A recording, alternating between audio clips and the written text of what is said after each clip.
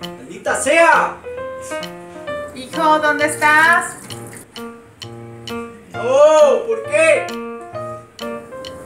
Ya te enamoraste otra vez.